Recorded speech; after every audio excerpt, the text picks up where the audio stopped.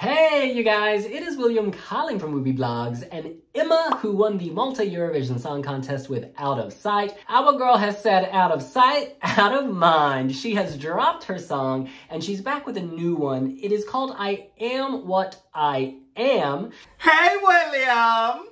Should we listen and react? Let's do this!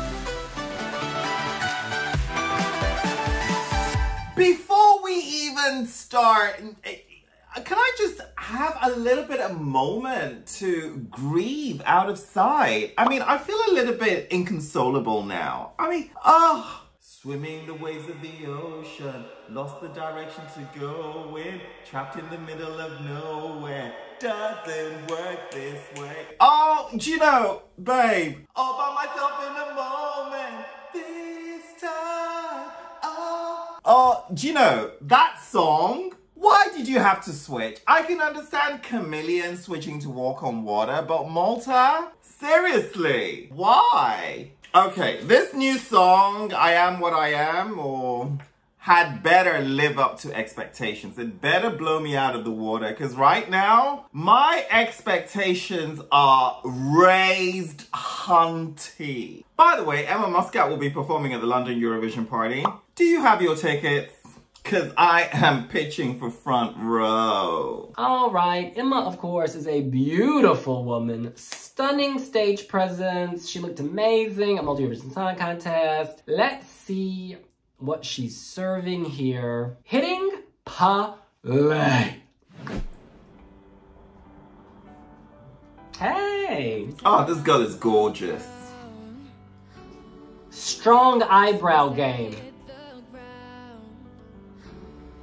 Nice piano.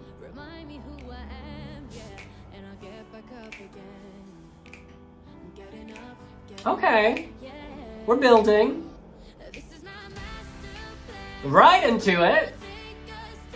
She looks amazing. Yes! A little bit of country music vibe there. I am what I am.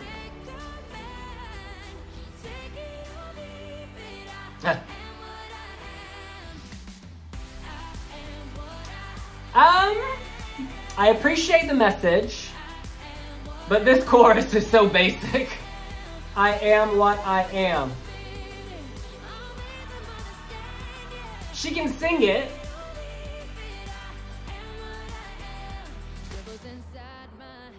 This is very cliche and predictable. But our girl looks good, and she sounds great. And there's a nice positive feeling. Hey, yeah! I've almost had enough of this. Almost.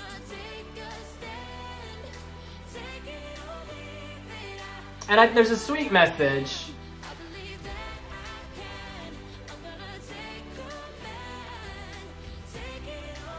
She's amazing in that white pantsuit. you switch a perfectly good pop song for a message song. She looks Vietnamese like me. Chị ơi.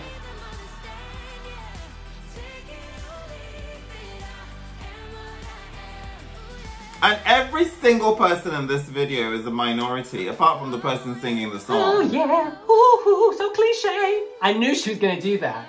I knew she was gonna do that. Vocally, she's on point. I mean, it's Emma Muscat. She can sing. She looks amazing. But why have they gone for this? Okay. I need a bit more vigor there. More vigor, girl. Harder. I don't get it. And the video feels very insincere and somewhat inauthentic. Oh my god. This feels like eight minutes. Huh. Huh.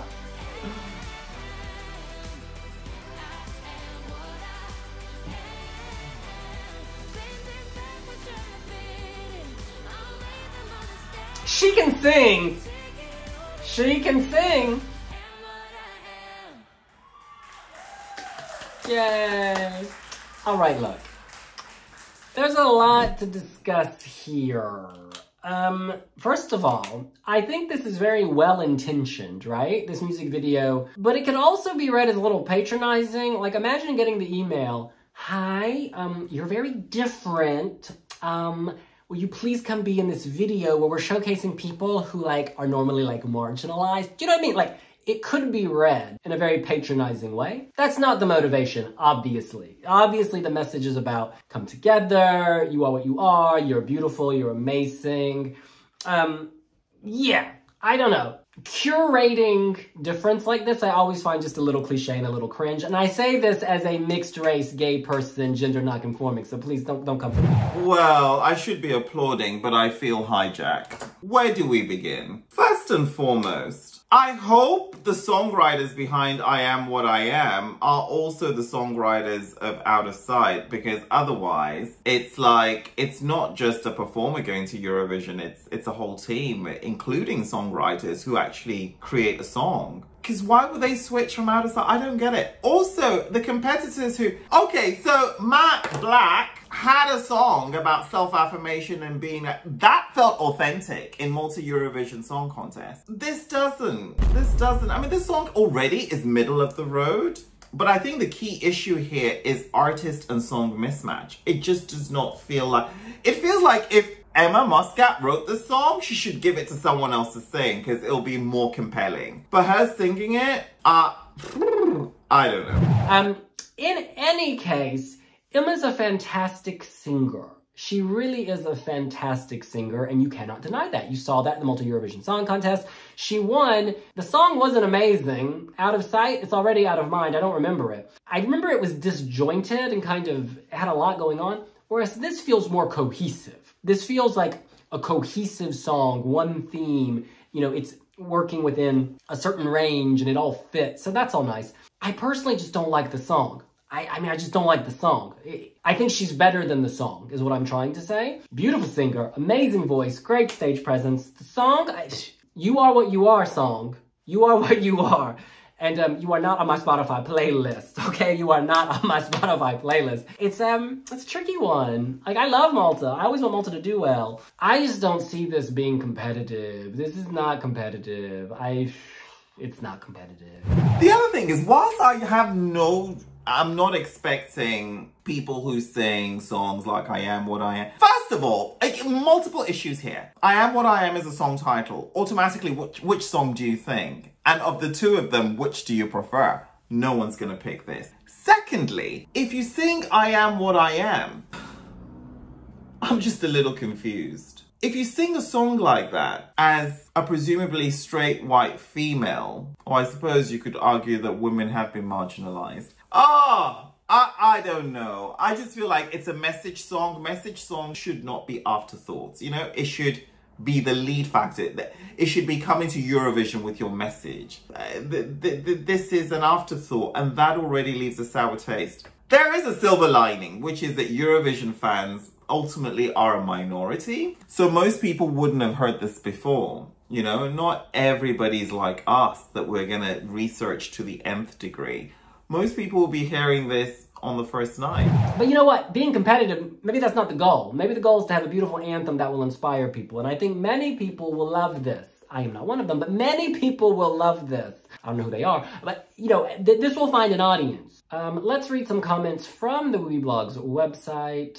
Carl says, imagine pulling all those shenanigans to change it for such a mediocre song and pissing a lot of people off in the process. I mean, okay, I think they were right to change the song personally because the previous song was not better than this. Um, and I feel like this showcases her voice in a really nice way. So there are a lot of positives here. But ultimately, neither song, neither song is up to Emma's level.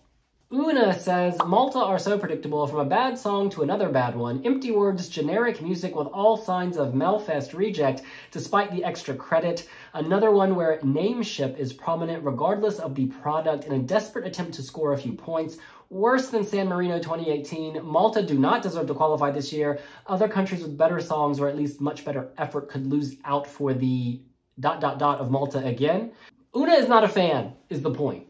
Lean Dirt Yan says, I can imagine the other candidates of MESC, especially Aidan being a bit pissed off now, and to say that's an improvement, she's a good singer, but she's changed one generic song for another, to be honest.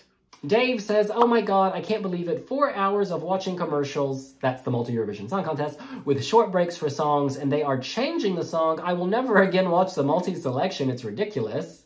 There are some positive comments. Let me find them. There are pop there are positive comments. Um, okay, well this is kind of a positive comment. Sam says, in the semi, this will probably be top five with the juries, and bottom five in the televote. Predictable, uninspired, and just like Out of Sight, I cannot remember a single line from the song. I do not want to see Malta in the final this year, honestly. Okay, well top five of the juries, Sam says. She can sing. Jack says, juries will love this. Televote will ignore it as much as they ignored Ingrosso. It's crazy that countries still buy Melfest rejects that sound like they were written in 2010.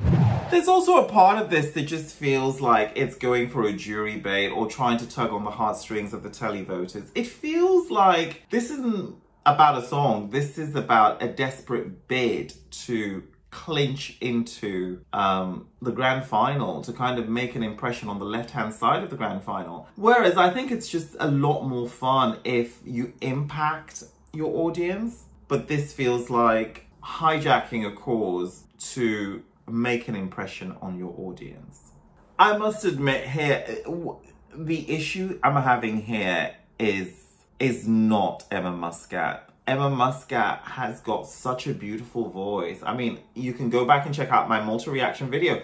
I really connected with Out of Sight. I thought, yeah, it was lyrically heavy, but it was a good song and she could pull it off. And you know, the other thing about Emma is that she sings songs in multiple languages. Obviously, she speaks Maltese, being from Malta, but she also speaks Italian fluently. She was a finalist on a big Italian show, which is a huge deal, by the way, can I just point out? So Emma is like, to me, tick, tick, tick, tick, tick. And she's a songwriter. She does write her own songs. The issue here is why she's decided to sing this song. And this song would have had a lot more impact had it been chosen first, not as a sort of like, you know, as a consolation prize. Especially when Out of Sight was not that bad to begin with. Oh, and it sounds really middle of the road. There are no surprising key changes. There's no surprising orchestration, instrumentation, or even vocal delivery. It just follows the very plodding structure. So it makes the message of the song stand out a bit more, but that's not a message that sounds authentic or particularly believable to somebody who, you know, isn't a veteran in the music industry that has gone through trials and tribulations or isn't even um, somebody who's who would normally be marginalized. You know, an LGBT person, for instance, a trans non-binary would kind of sing that disabled, you know. But then having all those characters feature in her music video just feels like playing to that rather than being that. So therefore it comes a bit as, you know, it comes across as, I'm lost for words. You know what? Malta, I love you guys dearly, but sometimes you know, maybe I'm overthinking it. Maybe I'm actually overthinking it. Maybe come on stage, this will slay. But Out of Sight was good. It was good. It was good. It was good. It was good. Oh, this is just bland. This is ordinary. Oh, and it's pretty much the last song to be released. Like, really. You know, so there's just, it feels anticlimactic. Like it's been a whole long build. For this! I is what I is, girl. Okay. Where is Malta competing? Let's see. Malta has been drawn into semi-final two. They are singing in the first half. They'll sing alongside Australia, Georgia, Cyprus, Serbia, Finland, Azerbaijan, San Marino, and Israel. And in the second half, you have Montenegro, Romania, Czech Republic, Poland, Belgium, North Macedonia, Sweden, Estonia, and Ireland. It's funny, I would have loved to see Malta go for a summer boppy, upbeat, feel-good number. Like, this is meant to be feel-good, but because it's so cliche and ballady and predictable, it doesn't feel good. It feels a little bad. It rubs me the wrong way. But if she had gone for one of her summer bops, serving me that, you know, Mediterranean realness, that Maltese oons, oons, oons, I would have really loved that. Um, but look, I'm wishing our girl the best. Um, I hope they have epic staging. Malta often does put a lot into their staging. Remember Cam Chameleon, remember Destiny, beautiful stage show. Hopefully they will have a great stage show that will elevate this. In any case, that's what we think. What do you think? Do you like I Am What I Am? And how would you describe what this song is? Let us know here on Wiwibloggs. Emma Muscat, the last time I checked, I didn't see you on Pinterest. You have modeled across the Mediterranean. Please, please set up a Pinterest account. And while you're at it, follow Wiwibloggs because we are also on Pinterest. And we will see you later. Bye.